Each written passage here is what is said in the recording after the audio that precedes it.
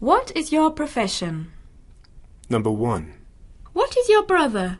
Does he work or study? He is a journalist. He works for a newspaper and travels a lot. Number 2. Are you new at the office? Yes, I am. I have been working here for only a week. And what is your profession? I am an engineer. And what are you? I am a programmer. By the way, my name is Brandon. Number 3. Mr. Walker, where do you work? I work at the Research Institute in London. Oh, we are colleagues. I work at the Research Institute too, but in New York. Number 4. What is your profession, Mrs. Spelling? I am a doctor.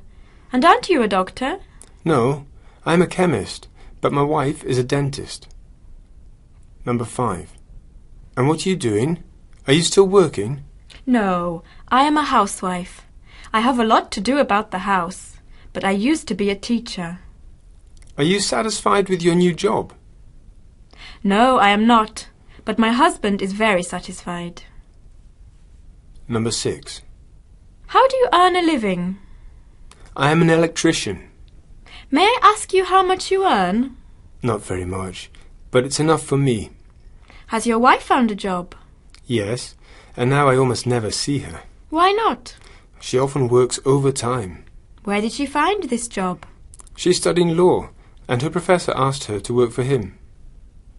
Number 8. Alex, how did you manage to find the job? It was not easy. I sent my resume to 30 companies. When did you get an answer? Two months later, one company answered my application, and I was invited for an interview.